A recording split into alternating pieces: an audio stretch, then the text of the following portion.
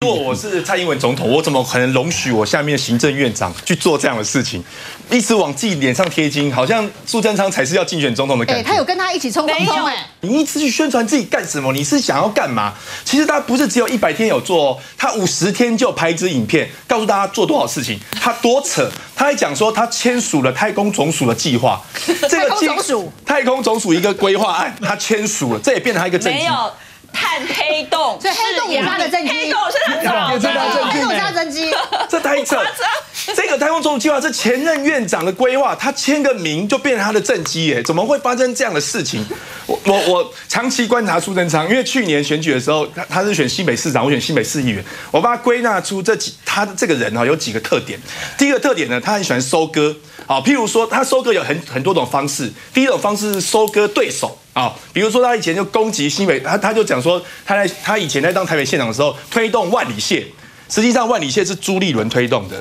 那他还收割同党前辈，比如说有一个新版特区，他说他规划新版特区，但是新版特区是由青规划的，而那我们那时候就攻击他说你怎么收割由青的规划案呢？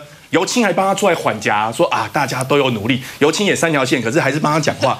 可是苏贞昌是怎么怎么对待尤青的呢？大家可能不知道，在尤青的回忆录里面哦，尤青说本来尤青卸任了，哈，换苏贞昌。卸任的县长可以在三个月再搬出官邸，可是苏贞昌呢就跟他说：“你赶快搬，因为我的女儿呢要在官邸办圣诞晚会。”结果就叫他赶快搬，那尤青鼻子摸一摸就搬走了。可是他他 尤青自己写的，尤青的回忆录对。然后后来尤青呢就经过了那个官邸，看到整个都是黑的，代表说苏巧慧还是他另外一个女儿，并没有在里面办耶诞晚会，可是就用这个借口把苏贞昌赶出去。所以从这一点就可以看到苏贞昌的薄情寡恩。然后第二个苏贞昌哦，他还有个特性，就是很喜欢打脸同党同志。比如说他现在呢就批评韩国瑜说你怎么没有出席院会呢？结果陈菊发现自己的脸变得很肿。啊，他他批评韩国瑜说你怎么跑去选总统？就打脸哦，这个是打脸自己，这是他第三项特质啊，我等下再讲。还有就是他以前 批评新北市政府没有针对失业劳工的子女的就业补助比较公教人员，那他就批评新北政府不照顾劳工。结果我们发现赖清德也没有。陈菊也没有，所以陈菊的脸被苏贞昌打了很多次。好，然后再来呢，苏贞昌也很喜欢打脸自己啊、我觉得最夸张的就是有一次他在选举的时候，他拍一支短片，跑到沙仑海水浴场的旁边。哦，如果上任后，我会让这个沙仑海水浴场变成情人与与情人散步的步道。结果我们去查资料，发现沙仑海水浴场是他关闭的。就他关闭沙仑海水浴场，然后自己说要把它变成步调。然后他说，他从政三十年来，通通绝对坚持反核。结果他在当行政院长，二零零六年的时候编了核四预算四百四十八亿。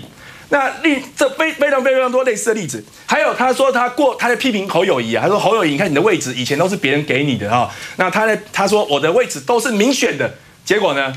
你不是当台北县长一半绕跑去当总统秘书长吗？这个位置谁给的？民选的吗？阿扁给你的、那现在。他输了侯友谊二十九万票，结果败选者联盟现在变成行政院院长，然后今天每天还敢做这样的事情，所以苏贞昌还呃还有一件事情，这个他他一直认为自己规划北大特区，觉得自己很厉害。你看北大特区有规划多好，实际上他那时候呃因为那个地标售不出去，然后他大量的提高容积奖励，然后盖了非常多高楼大厦。北大特区本来是一个仿照国外大学城，一个低密度开发社区，为什么？因为因为想要。呃，怕附近的公共设施不够，结果他因为大幅的放宽容积，盖了多高楼大厦，人口大量移入，学校不够。